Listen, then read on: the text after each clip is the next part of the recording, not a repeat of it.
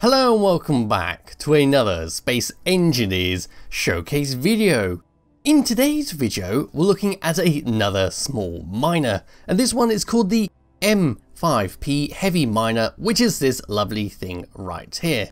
It's a small atmospheric miner for you to spawn in and use to collect up all your precious resources in survival mode.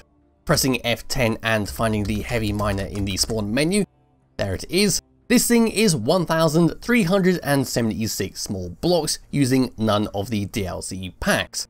We've got a little bit of information on there about what it's using, and as well as the singular script, which is the automatic LCD. So what we're going to do is have a quick look around the outside, and then we're going to drill a hole through this mountainside and see how well it does.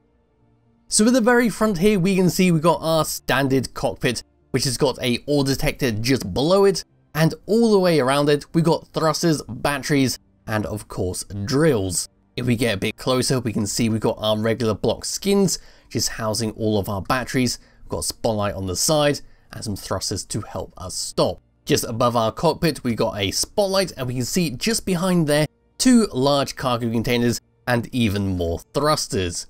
If I just pull out here and move around the side, you'll be able to see how our drills have all been connected up. They'll all come down and meet at the very middle of our large cargo container where that one thruster here is blocking our vision. So if we come across to here, that is how they're all been hooked across.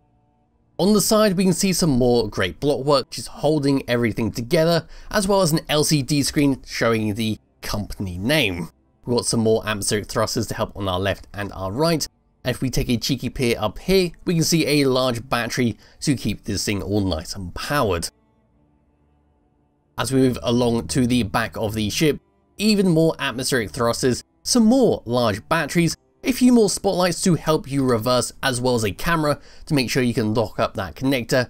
And just below here, just below these reddish blocks, we got some ejectors to make sure we can get rid of any kind of unwanted items, which will largely be stone.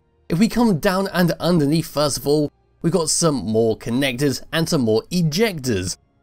We can see some gyroscopes to make sure we've got plenty of control over this, especially when we're all heavy with resources. As we move towards the front, we then got a timer block which has all been set up to do a docking sequence where we can turn everything off with a press of a button. And all the way around to the very top, past our cockpit, there we go. We can see the tops of our drills we can see some more small batteries, some more gyroscopes, more atmospheric thrusters, and we've got an access point to the large cargo container right there.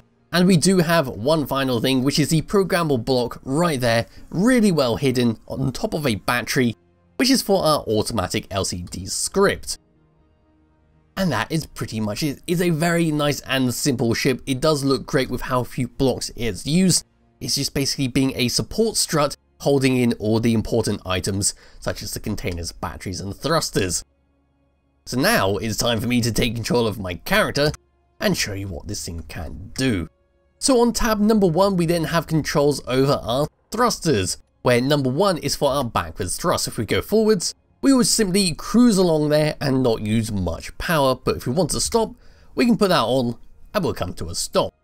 Number 2 is for our drill, so instead of using our left mouse, by doing that, and just clicking to drill, we can simply press number 2 and it will just drill all the time.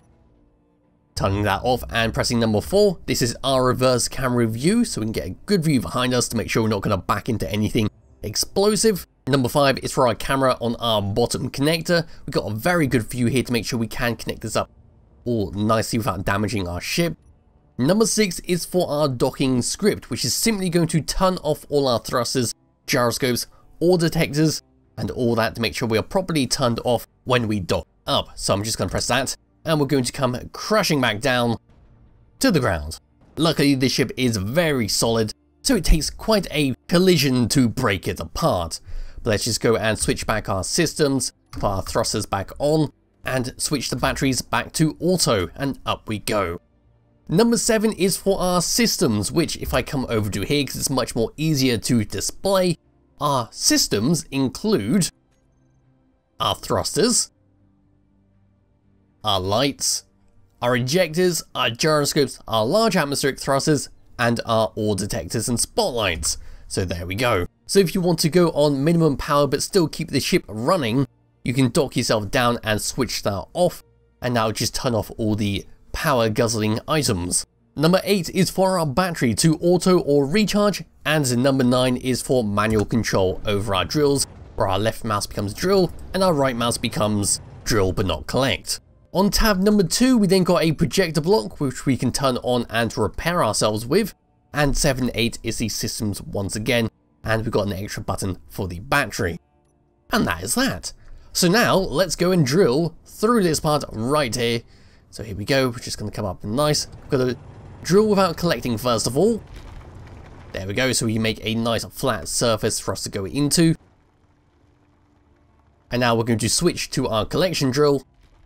And hopefully the ejectors will start. There we go. They're now just going to push out all the stuff we don't need. So we're only after the resources such as tungsten and all that.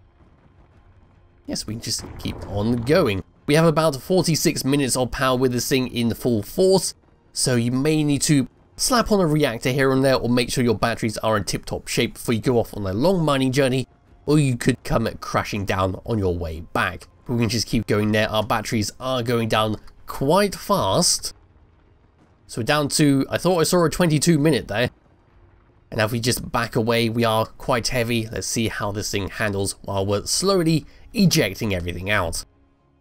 So going forwards, while we are quite heavy, we are relatively slow. It's still got a fair amount of speed for all those thrusters on there.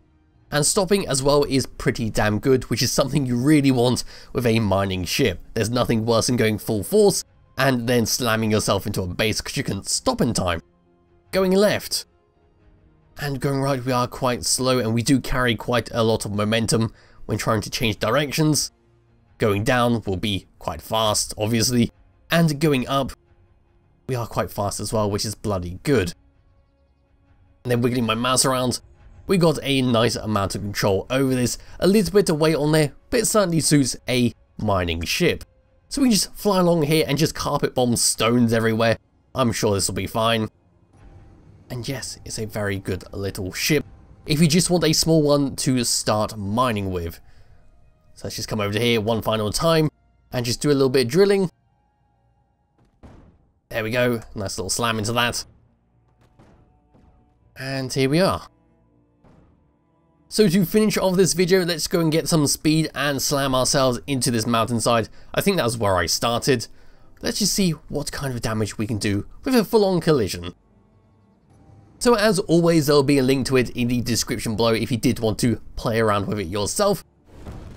And I'll be back with another video some point soon. And we appear to have jammed our drill heads straight through the textures. How about that? Anyway, bye bye.